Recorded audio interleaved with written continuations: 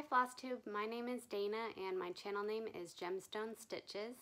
I'm back to do an update to show you what I have been working on with my cross stitching over the last, I don't know, over two months it's been I think.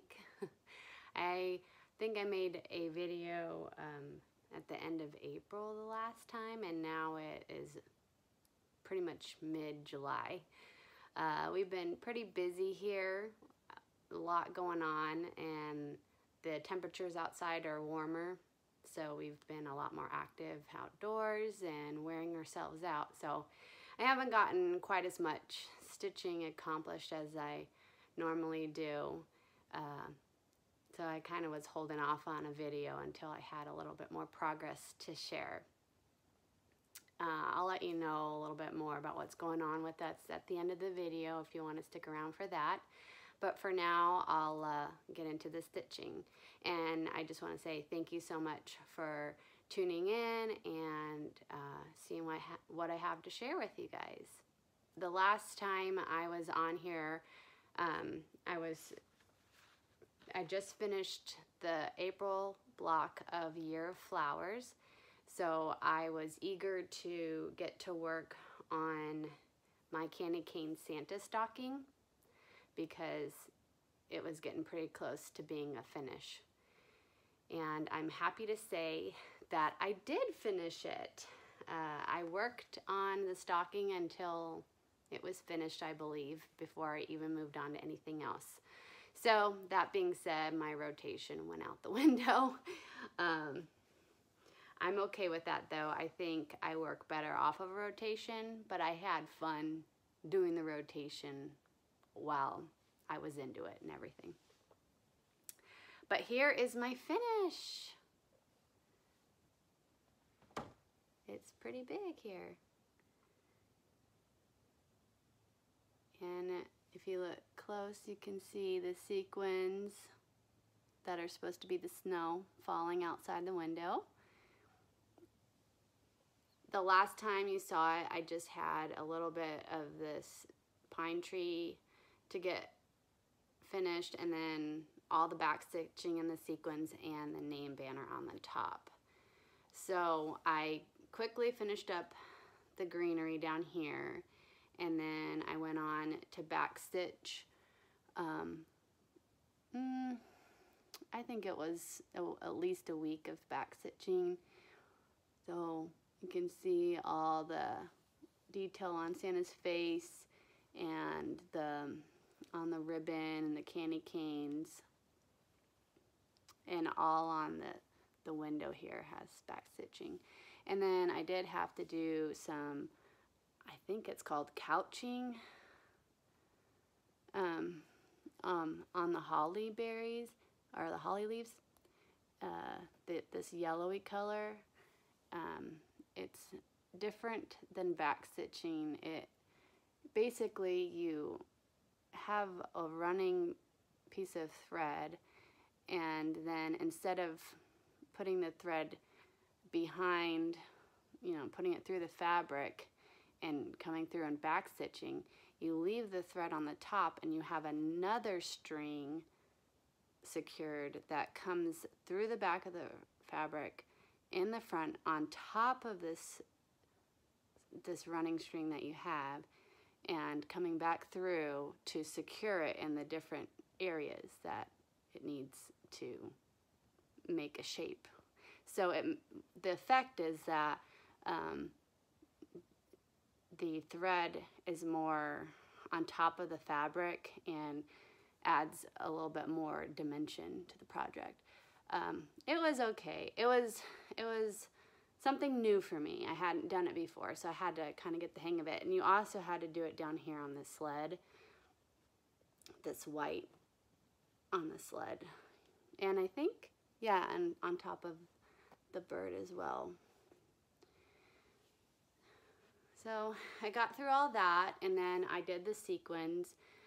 I believe either I did this first and then the sequins or the other way around. I can't remember. But um, for anybody who might have this project or is doing another dimensions uh, project that has sequins or something like that with it, I would keep really good track of those sequins when you open the pack because for me and my kit, they gave me just enough. And I ended up losing a couple and ran out of sequins. I think there's supposed to be one or two more on here that are not there because I ran out of the sequins. And the other thing about them is that a lot of them were stuck together. So I had to keep, you know, peeling them apart before I could stitch them on. But I never ran out of any threads. The threads, they give you tons of thread. And then, um, yeah, other than that, the kit's great. So just the, the embellishments, the last little bit that um, they only give you just enough of. Um, I forgot also the little berries are French knots. So there, there are a few. Oh, yeah, just right there. And then the eyeball on the on the bird is a French knot. And then I came up and did the name banner. So that turned out pretty well. Um, there is some areas that I went side to side stitching and then went up and down stitching so you can kind of tell um, when you look at it up close. So I'm kind of mad at myself for doing that.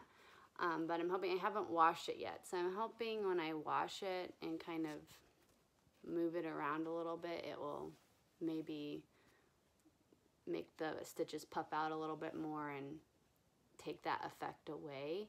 If not, I am toying with the idea of frogging it out and redoing it if it bothers me enough. But I can count that as a finish. I am so excited. I love, love, love it. It is dimensional, just like the kit is called Dimensions. It is dimensional. You know, it's like there's a background and a foreground and um, just the use of using one thread versus five threads, using half stitches versus cross stitches, blended threads, all that detail, the couching, it really makes um, it look dimensional. So I understand why they call these kits, um, or the designers called Dimensions. Um, I am going to bite the bullet and get a sewing machine at some point. Just not an expensive one, just one that will do um, just the major basic things that you use a sewing machine for because I do want to FFO it myself and I also have some curtains that I need to hem uh, that I've been putting off for a while.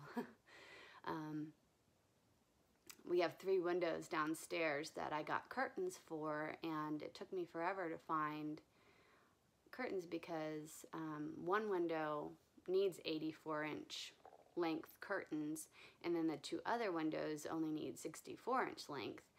But it's really tough to find um, a fabric of curtain that has both lengths uh, particularly because 64 inch length curtains aren't as um, easy to get as 84 inch.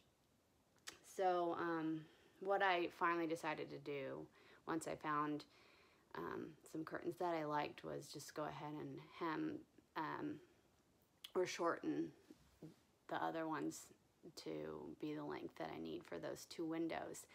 So I want to get to work on doing that and then FFOing the stocking.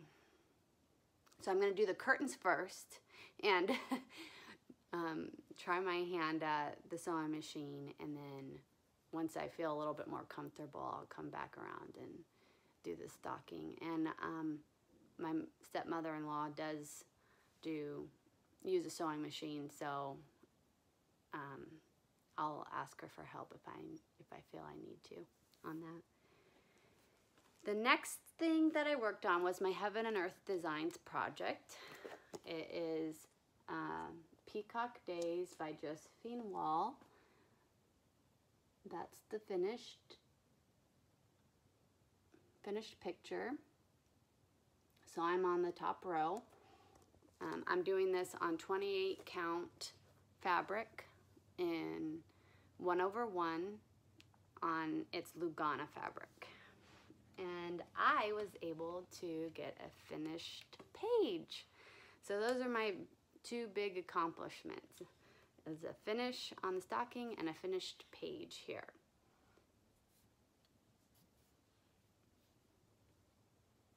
So there it is.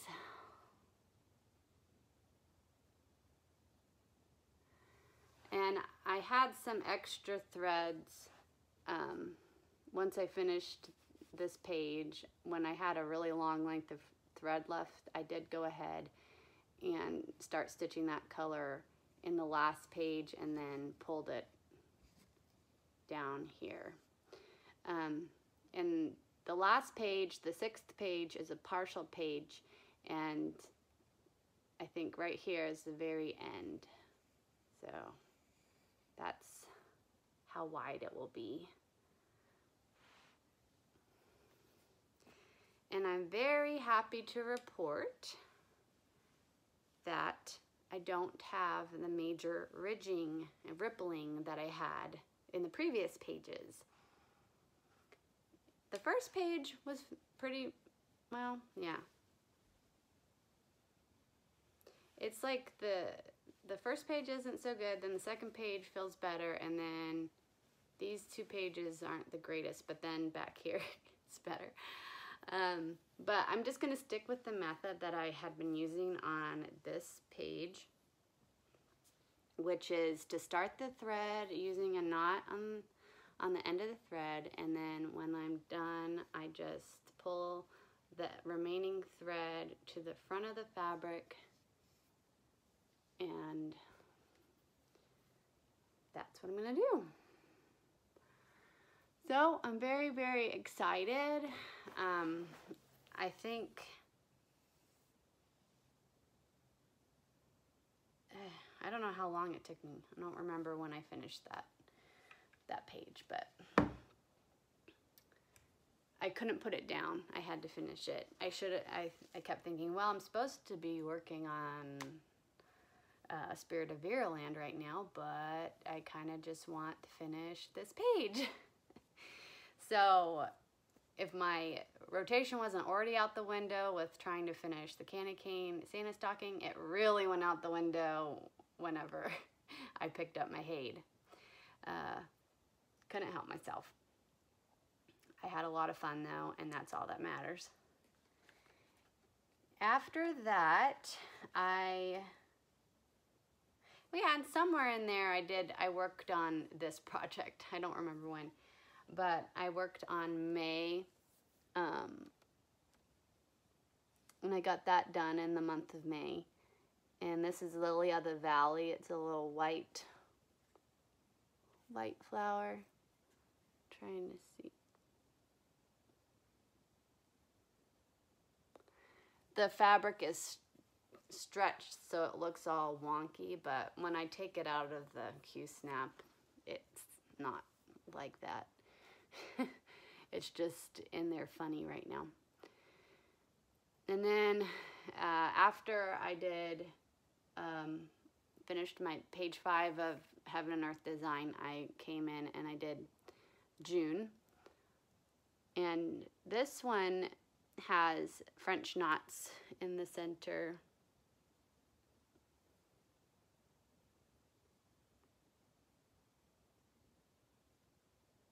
If I get too close, I see that it gets all blurry.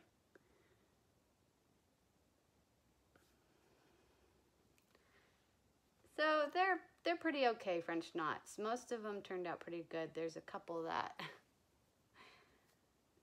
I couldn't get to lay as well as I would have liked, but overall it's it's it's good. I was kind of surprised I didn't realize this project has any French knots in it. But this this project does have specialty stitches like the the daffodils up here have um, rice stitches I think they're just straight stitches and then um, over here these little flowers just they're not cross stitches they're just little lines that come down. So there, and that's what I found in the other drawn thread projects that I've worked on is that there is a mix, mostly of cross stitching, but then you do have specialty stitches throughout as well to give the different effects. And so July, I believe, is a blue flower, so I'm looking forward to that. Yeah, you can see um, the finished pictures on this is re are really small. Sorry, it's blurry again, but yeah, that's just a blue flower there. It's going to be really pretty. So I got those two blocks done on Year of Flowers by the Drawn Thread, and I'm doing that on a 32 count um, linen. I don't remember what kind, but it's just kind of a natural color.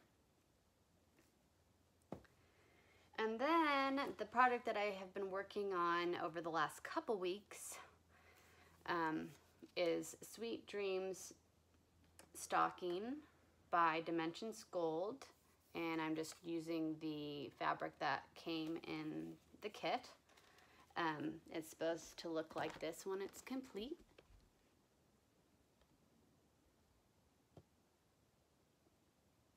Last time I showed you, I had um, the white fur down to about his belt, Santa's belt done, the red jacket and all this done, and then I think I got the drum finished and it and his and his sack, toy sack done, and I had the little girl done up here, doll. So I I've been working up in this area over the last couple weeks. I haven't gotten a ton of progress because, like I said, I haven't been stitching every day, and when I do stitch, it's not very long periods of time. I need to get back into it. Um, so here it is. This is my needle up here because I still have a bunch of green thread from where I was stitching right here. Um, so I've been working on these presents and um, anytime I had a lot of extra thread, I would see where that color was in other parts of the the pattern and then just like use up the rest of the thread there, went up the window there. If I had some greens, I came through and did some of the Christmas tree over here. So this project definitely, I think, has a lot more back stitching than the um, candy cane Santa. Uh, definitely to make the all these different motifs and or items in the project pop. So yeah, um, the back stitching might not go as easily in this project as it did in the other one. But my plan is to continue to work over. So I have done everything on this side until you know, the window and the background start. Um, so what I want to do is I just finished this green present here and um, right here is Santa's red hat. So once I finish the green, the thread that's on this needle right now that's green, which will probably come through in the tree somewhere over here. Um, I'm to do his hat. I think I need to finish the holly leaves and then I will work on the tree and I want to make my way over to the end of the stocking over here. And the tree is quite detailed as well. It has a lot of ornaments and lights and um, I think I do that couching again with some gold metallic thread um, on the tree there. But you can see how the back stitching is really going to help the design and it's very needed. So I think I'm going to work on this until July uh, 14th and midway through the month. And then Um, my next plan is to get back to Spirit of Ireland by um, Long Dog Sampler. That's what it looks like finished. I'm doing this on 30, 32 count lilac Belfast, um, 2 over 2. And I chose DMC color 550 to go on the lilac fabric, so it's very purple. This is how far I've gotten. I haven't worked on this at all since my last video. So looking forward to that. Um, we are going to, my in-laws have a cabin on Lake Winnipesaukee in New Hampshire and we're going there for a week at the end of the month. So I think I'm going to end up bringing that project um, just because it would be really easy to pack. Just one color and the, the pattern and I'm good to go. I also need to work on July block.